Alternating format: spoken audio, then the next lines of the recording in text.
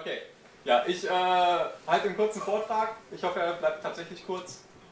Äh, über ein kleines Stückchen äh, Git-Workflow, was sich bei mir ergeben hat. Ähm, vor ein paar Wochen. Und das war ein Ding, was mir schon immer ein bisschen Dorn im Auge war. Deswegen bin ich ganz froh, dass es jetzt zumindest vorangeht. Es ist noch irgendwie nicht perfekt, aber es geht voran. ähm, Erstmal kurz zum Szenario. Äh, ich arbeite in einem Git-Repository. Klar, ich arbeite in meinem eigenen Working Branch. Da kann ich rebasen, wie ich lustig bin. Der ist zwar in einem Pull-Request, aber den kann ich force pushen. Das ist eine, Heraus, äh, das ist eine Voraussetzung. Soweit ich das nicht kann, ist alles äh, zunichte, was ich jetzt sage. Und äh, ich hätte gerne eine hübsche History. Wenn, ähm, wenn es egal ist, wie meine History aussieht, weil das eh nur ein Gammelprojekt ist, dann ist es mir egal. Aber wenn das gereviewt werden soll, was da passiert, dann ist es auch wichtig, dass man nicht tausend kleine äh, Commits hat, die eigentlich überhaupt gar keine semantische Änderung tragen und dass vielleicht auch die Messages alle, die Commit-Messages äh, alle so sind, dass man verstehen kann, was da drin passiert, ähm, dass Refactorings irgendwie ein bisschen gruppiert sind und so weiter und so fort. Äh, und ein, äh, eine Sache, die da, die da mir relativ häufig passiert und die ich auch glaube, die einfach häufig äh, einfach ist, sind kleine Änderungen im Nachhinein. Ich habe ähm, mein, hier rechts, ich habe äh, ein, äh, ein, ein, Repository, das hat irgendwie einen, äh, einen, Master Branch, das ist eigentlich relativ egal. Ähm, und ich habe meinen eigenen Working Branch. So, und ich arbeite an meinem Working Branch, ich mache einen Commit C, hacke die Hack, ich mache einen Commit D und dann stelle ich fest, okay, hier ist jetzt ein kleines Problem im Code. Also zum Beispiel, ich habe mich in einem Kommentar habe ich mich vertippt. Oder ich möchte eine Variable vielleicht doch anders nennen. Oder ich möchte einfach noch einen Kommentar hinzufügen. Oder irgendwie eine kleine Sache, die wirklich nicht groß ist, die ich einfach nur mal kurz äh, äh, am besten wegcommitten, damit sie weg ist. Äh, und da hatte ich das Problem, dass das häufig so dazu geführt hat, ich habe das dann da hingeschrieben, dann war es im Prinzip in meinem Working Tree Dirty drin und dann wusste ich nicht so richtig, was ich damit machen soll. Also ähm, committet man es dann einzeln kurz weg, dann hat man irgendwie so einen Commit darum liegen, der nicht so richtig vermittelt ist oder da gibt es irgendwie so ein paar verschiedene Varianten. Okay, wenn das Problem... Nochmal zurück. Ähm, das Problem, was ich was ich dann finde, das ist üblicherweise in einem der Commits, an dem ich gerade arbeite. Also ich habe dann äh, in, in einem meiner Commits, die auf meinem Working Branch sind, vergessen, irgendwie ein kleines Stückchen anders zu machen, als ich es eigentlich ultimativ haben will. So, wenn das äh, kleine Problem zu meinem Commit D gehört, also hier hinten hin, ähm, dann ist es trivial, dann kann ich das äh, Commit Amend machen, dann habe ich hier einen D', da ist das mit drin, was ich anders haben will und dann habe ich kein Problem. So, schwierig wird es erst, wenn das zu einem äh, Commit C gehört, der nicht der letzte in meiner History ist, sondern äh, auf dem schon irgendwie andere Sachen drauf basieren. Ähm, und jetzt gibt es erstmal die triviale Lösung, äh, ich mache einfach einen extra Commit, also ich habe irgendwie meine kleine Zeile geändert und mache den Commit E hin und dann ist es halt in dem kleinen Commit drin, dann ist halt der Type, äh, ist ein Fixed Typo. Aber äh, ja, das widerspricht sich mit hübscher History. Ich habe echt keine hübsche History, wenn ich dann irgendwie einen ständig Commits drin habe, äh, irgendwie rephrased comment oder fixed typo oder so, das will man eigentlich echt nicht haben. Das macht es nicht hübscher beim Reviewen. Ähm, und was lange mein, mein, mein Workflow war, war, äh, ich committe das in, in einen äh, Commit E und dann mache ich git rebase minus i und dann squash ich das zusammen. Das kann ich einfach kurz mal demonstrieren, wie das ungefähr aussieht und dann kann ich später dann zeigen, wie es richtig geht. Äh, ich sage hier, ich habe einen, äh, äh so, das du zu schreiben. Ähm, das ist äh, hier drin und dann habe ich hier irgendwie noch, füge ich einen äh, SDF ein. So, jetzt habe ich hier einen, einen Commit, den committe ich einfach mal kurz weg. Ähm, in Vortrag 2 ist das drin, okay. Ähm, Vortrag 2. So, das füge ich hier hinzu. Da ist es weg. Und danach äh, arbeite ich an irgendwas anderem weiter, wie zum Beispiel an meiner Datei Vortrag 1. Okay, so. Äh, other work. So. Klar, jetzt habe ich, eine, äh, hab ich eine History und dann stelle ich irgendwann später fest, ach scheiße, ja, jetzt Tippfehler, das hätte ich anders schreiben müssen, das ist ja doof. Ja, müsste eigentlich so sein. wenn ich das hier habe, dann habe ich jetzt in meinem, ähm, in meinem Status hier, okay, da habe ich, hab ich das ups, äh, äh drin und es, naja, wie, wie, kriege ich das jetzt hier weg? Und ich möchte das ja, äh, ups, so. ich möchte das ja im Idealfall direkt in diesen Commit hier rein haben. Okay, was kann ich machen? Äh, ich kann einen git rebase minus i machen. Oh, das erst committen. committen. Ja, ich muss erstmal committen. Und zwar. Ups. Ähm, so. Ähm, ich möchte ein Interactive Rebase, äh, so dass diese beiden hier zusammengesquashed sind. Das kann ich machen, indem ich git Interactive Rebase mache, also Rebase minus i und dann von wo nach wo. Dann habe ich hier dieses hübsche Fenster. Dann kann ich dieses äh, Fix-Tipp-Fehler hier hin moven und mache Squash. Das ist das, was ich lange Zeit gemacht habe. So. Das, das funktioniert, aber das ist scheiße, weil erstens, ich muss, ich muss selber wissen, wo muss das hin. Dann muss ich äh, das einzelne in Commit schreiben und dann muss ich, äh, wenn ich das hier so mache, kriege ich jetzt gleich einen, ähm, ein Fenster, in dem er sagt, was soll die Commit-Message von dem neuen, ähm, von dem neuen gesquashten Commit sein. Und der Vorschlag ist dann äh, die Kombination aus den beiden. So, gibt es ein bisschen besser, man kann hier Fix-Up hinschreiben statt Squash. Das ist dasselbe wie Squash, nur dass er äh, die Commit-Message vom zweiten Ding verwirft und dann habe ich zumindest schon mal einfach dieses Ding hier, diese kleine Änderung äh, mit, in mein, äh, mit in meinen vorigen Commit reingekriegt. Äh, das ist immer noch wirklich nicht super. So, nächst bessere, äh, nächst bessere Variante hat mir Shoragan äh, vor einer Weile demonstriert. Man kann Fix-Up-Commits machen. Und zwar kann man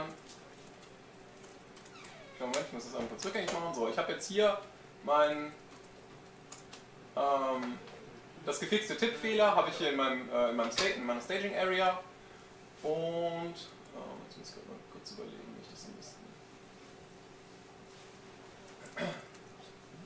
demonstriere. Ähm, man kann git commit minus minus fixup machen, dann macht er einem das selber. Also dann, äh, dann macht er einem einen Commit, der automatisch später reingefixup wird. Das ist okayer. Ich kann jetzt hier machen minus minus fixup und das Fixup soll passieren in, ähm, in dieses Commit. So, was kann ich machen? Das ist, äh, ups, boah, was ist da passiert? Ich wollte diese Taste drücken. So, wenn ich das hier so mache, dann äh, macht er einen äh, Commit mit dieser Commit-Message, die mit Fixup Ausführungszeichen anfängt und dann äh, diese mit der Commit-Message von dem, wo es reingefixup werden soll. Ähm, wenn ich jetzt, äh, keine Ahnung, so, wenn ich jetzt äh, getrebase minus i und dann minus minus autosquash mache, dann kommt er selber auf die Idee, okay, das hier ist ein fix-up Ausrufungszeichen Ding, das soll ich scheinbar hier rein fix-uppen. Und dann ist das da drin und das ist auch schon mal wieder ein bisschen besser. Damit bin ich den, den Schritt los, dass ich das äh, selber managen muss. Und man kann die natürlich auch eine Weile aufbewahren, einfach die Fix-Up-Commits und dann einmal alle wieder zusammenschmeißen. Das ist okay, ja. Aber ich habe immer noch das große Problem, und das ist eigentlich das, das größte Problem daran. Ich muss selber rausfinden, in welchen Commit muss das jetzt rein. Ich habe hier zu irgendeinem Zeitpunkt habe ich hier einen Commit gemacht, in dem ich hier Tippfehler hinzugefügt habe. Und dann habe ich einen zweiten Commit, der genau diese eine Zeile hier fixt.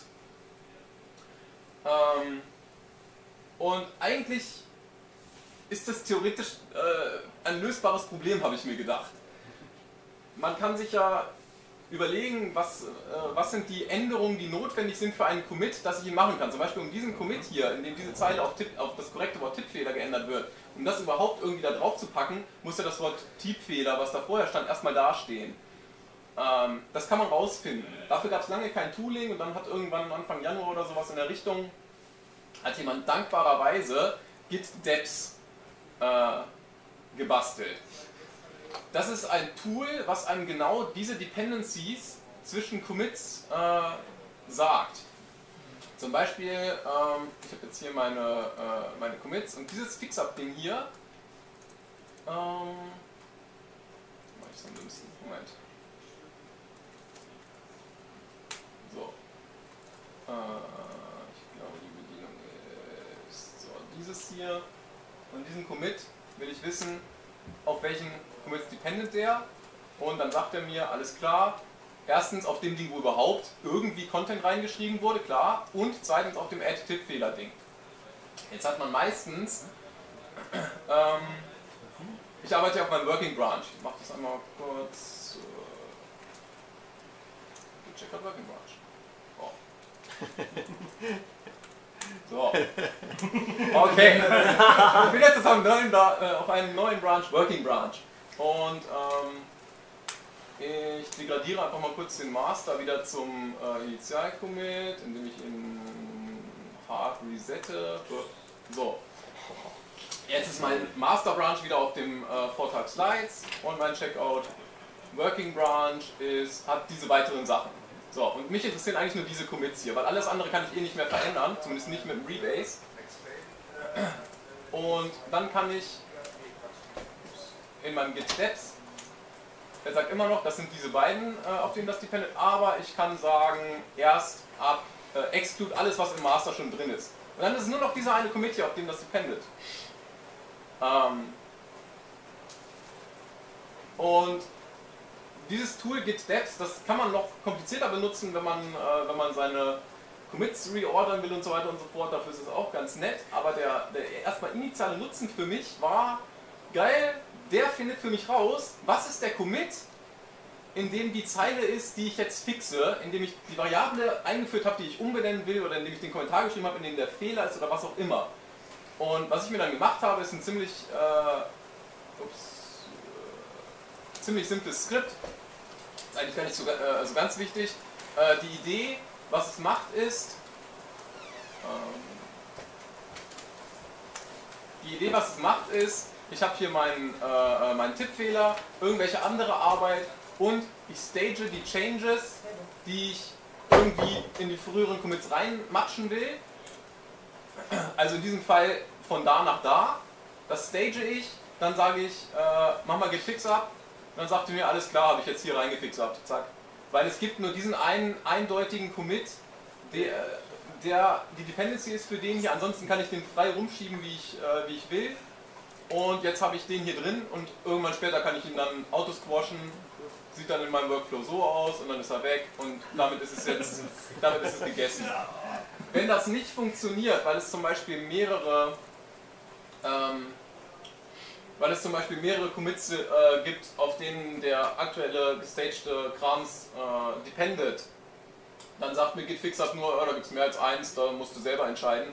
Aber damit hat man schon mal eine bessere Basis. Wenn das irgendwie fünf sind, dann weiß ich, alles klar, das kriege ich nicht mehr irgendwie mit rein, das muss ich wahrscheinlich einzeln committen oder muss es mir anders überlegen, dann muss ich wirklich darüber nachdenken, was da passiert.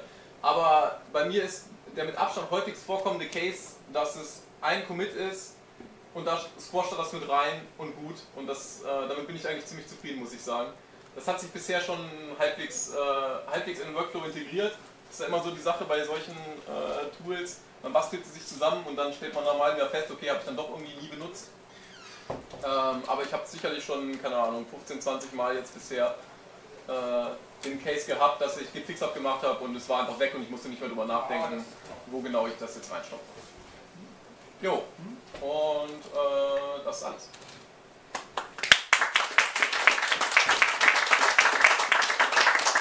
Okay, zwei Fragen. Ja, äh, dein Skript. Ja, genau, das war meine erste Frage. ähm, mein Skript, das ist eine gute Frage. Ich habe es noch nicht auf GitHub gepusht. Oh. ähm, ich muss aber auch sagen, das Skript ist äh, auch wieder so personal use ready. Ähm, also hier, hier ist das komplette Skript, es ist äh, 39 Zeilen lang und ich vermute mal, es ist ziemlich unsauber mit Git so zu arbeiten, wie ich es mache. Ich gucke, es gibt Depths da, äh, ist, äh, sind gestagte Changes da und wenn das der Fall ist, dann werden sie committed in einen Temporary Commit. Auf den wird Depths angewendet, um zu gucken, welche Dependencies sind da. Wenn das genau eine ist, dann alles klar, äh, hier ist er, da ist, äh, dann emendet er es als Fix-Up Commit und äh, gibt das nochmal als Log aus. Wenn es null sind, sagt er ja, es ist irgendwie, äh, da gibt es gar keine Dependency, da kann ich auch nichts mit anfangen. Das sind dann wahrscheinlich auch tatsächlich Sachen, die man einfach äh, als einzelne Commit halten will. Und er macht halt einfach wieder einen äh, Reset minus minus soft, sodass er den, äh, den Staging, den Staging-Krams wieder herstellt. Also das, das Skript an sich ist eigentlich weitgehend trivial. Ich kann das gerne nochmal hochladen. Ähm, ja, bitte. Ja. Ich muss sagen, wahrscheinlich, wahrscheinlich tritt der Case tatsächlich erst auf, wenn man, äh, wenn man irgendwie an Branches arbeitet, die man wirklich hübsch haben will. Das, den, den Case hatte ich bisher nie so groß bis jetzt vor einer Weile. So. Äh, dass es mich so weit gestört hätte, dass ich tatsächlich mal was dagegen getan hätte. Apropos Naja. Achso, und man braucht das Git Deps leider. Ähm, Git Deps. Wieso ist- leider? Das ist cool. Ja, es ist cool. Oh, Oh, Verzeihung. Ähm, es ist cool. Ähm, der Typ, der das gemacht hat, hat es auch nett gemaintained und es hat auch, man kann dann irgendwie ein Webinterface launchen, in dem man sich lustige Dependency-Graphen anzeigen lassen kann. Das ist auch nett, wenn man wissen will, wie die Commits, an denen man arbeitet, gerade aussehen. Ähm, aber dadurch hat er halt auch einen Riesenhaufen Dependencies hier drin in seinem Programm und dann brauchst du irgendwie, äh, wo ist es hier, Manual Installation, Oh, äh, npm install und dann Browserify, Coffeeify. Das ist ein bisschen sehr scheiße. Aber, der, also, ähm, das pure Skript ist in Python geschrieben und man braucht nur Python PyGit 2. Das ist die einzige Dependency, die man braucht, um einfach Git Deps auf der Kommandozeile machen zu können. Dann gibt es die, äh, die Commit-Hashes aus, die man tatsächlich braucht. Ich habe auch das ganze Geraffel hier unten habe ich überhaupt nicht installiert, weil es läuft auch ohne, solange man nicht das Webinterface starten will. Ähm, man kann sich auch über Docker installieren. ihr, ihr seht, was ich meine. Das Ganze ist leider nicht so lightweight, wie es sein könnte. Und ich musste auch erst, ich, ich musste auch erst einen kleinen Patch submitten, weil irgendwie das Ding momentan. Geclosed. Okay. Ist er Äh, denn jetzt drin? Oder? weil, ich, ich weiß es nicht. Das Problem ist, dass äh, Python PyGit 2, die haben einen Breaking Change gemacht, irgendwie vor einem halben Jahr oder Jahr. Das heißt, je nachdem, wo euer Python PyGit 2 eure Library da ist, braucht ihr entweder den, den alten Branch oder den äh, neuen mit dem äh, Patch von mir. Das hat nicht lange gedauert. Also wenn man, wenn man das sich anguckt, dann ist das eine Sache von drei Minuten, aber es war halt irgendwie schon, schon was anderes als apt-get install äh, äh, git deps. Das ist leider so. Andererseits, naja, wie gesagt, es ist äh, im Grunde nur äh, dieses eine Python-Skript hier. Alles andere ist komisches Beiwerk und äh, das Python-Skript läuft, sobald man diese eine Python-Library installiert hat. Also es sieht erstmal schlimmer aus, als es ist. Ich habe mir am Anfang gedacht, so sieht super aus, aber habe ich gar keinen Bock zu benutzen und naja, es hat sich dann doch ein bisschen geklärt. Jetzt ist es nicht Ruby, das heißt, es hat eine Chance, in zwei, Monaten noch zu funktionieren. Ja, das hat aber halt, wie gesagt, schon mal nicht geklappt, weil vor einem Ja. halben Jahr hat es gebreakt. Ne? Nochmal so eine Anmerkung, wenn du mehrere äh, potenzielle Kandidaten hättest, äh, für die das ein Fix-Up wäre, dann kannst du ja wahrscheinlich einfach deine Commit äh, bzw. deinen Fix-Up we weniger groß machen, würde ich mal sagen. Ne? Also, äh, Ja, wobei die Fix-Ups neigen dazu, wirklich äh, extrem klein zu sein. Also meistens sind es echt nur so ein, zwei Zeilen bei mir. ja. Halt, Und selbst dann hast du noch das Problem, dass du auf mehrere. Ja, das passiert, das passiert dann, wenn ich zum Beispiel diese Tippfehlerzeile, wenn ich die zweimal schon in Commits geändert hätte. Dann, Ah, okay. dann gäbe Ah, es ja okay, zwei ja. Commits, die ich beide brauche als Dependencies. Verstehe, ja. Ähm, und man kann nicht, also man kann die natürlich auf den letzten dann immer draufschmeißen, aber gerade bei Codeänderungen ist das manchmal nicht richtig. Ja. Ich bin mir noch nicht ganz sicher, vielleicht ist es sinnvoll, das aufs letzte draufzuschmeißen, kann sein. Aber bisher, Na, na, die Änderung, die du machst, ja, machst du ja relativ zum letzten Commit, den du hattest. ja, Damit müsste das ja eigentlich tun. aber nicht immer. Also es kann zum Beispiel sein, dass es, wenn ich, wenn ich zwei Zeilen habe, dann sind die ja trotzdem noch im Prinzip eine, eine Dependency, äh, äh, ein Dependency ähm, String. Und ähm, es, es kann halt schon sein, dass, äh, dass sich zum Beispiel in, der, in, in den zwei Kommentarzeilen habe ich in der oberen irgendwie noch was geändert, aber der Tippfehler, den ich fixen will, der war schon vorher drin. Dann will ich, dass dieser Tippfehler-Fix in dem ersten Commit drin ist und nicht im zweiten. Da müsste man aber erstmal wissen, ob der da schon drin ist. Ja. Ja, wenn er schon drin ist, dann hast du ihn, dann siehst du ihn ja nicht mehr, dann kommst du nicht auf die Idee, dass du das überhaupt machen willst. Aber also die Idee von dem ganzen Ding mit der hübschen History ist ja, dass dieser Tippfehler schon im ersten Commit gar nicht erst auftritt. Wenn ich ihn im ersten habe und im zweiten fixe, dann ist das eine unnötige, ein unnötiger Change, den ich in meinem äh, Branch drin habe, weil ich es einmal in, äh, kaputt und einmal in richtig hingeschrieben habe. Aber die Idee ist ja, ich will es sofort in richtig da stehen haben, weil der Reviewer, der will nicht wissen, wie ich das gecodet habe, wie lange das gedauert hat und wie viele Fehler ich gemacht habe, sondern der will wissen, wie sah es am Ende aus. Und jedes Mal, wenn da solche Changes drin sind, gerade im Code dann auch, wenn Changes drin sind, die sich dann doch nochmal ändern, dann ist halt doof. Also Also kostet wahrscheinlich extra. sobald es mehr als, ein, äh, als eine Dependency ist, äh, muss man glaube ich sowieso einmal kurz als Mensch drauf gucken, dass man dann weiß, es sind diese drei hier, das ist schon mal ganz okay, dann kann man sich überlegen. Man erkennt es dann meistens auch an den Commit-Messages, okay, aha, das müsste denn welche sein, schmeißt man es da rein und dann funktioniert das auch. Ja. Noch so eine praktische Frage. Gibt es so ein Tool wie Git Aspell, das einfach nur über alle Kommentare nochmal Rechtschreibprüfer Du kannst den Commit-Hook machen, der dir nicht erlaubt zu committen, bis äh, Arzt sagt, dass alles okay ist. Das klingt nach einer richtig guten Idee für meinen Code. Naja, ich weiß nicht.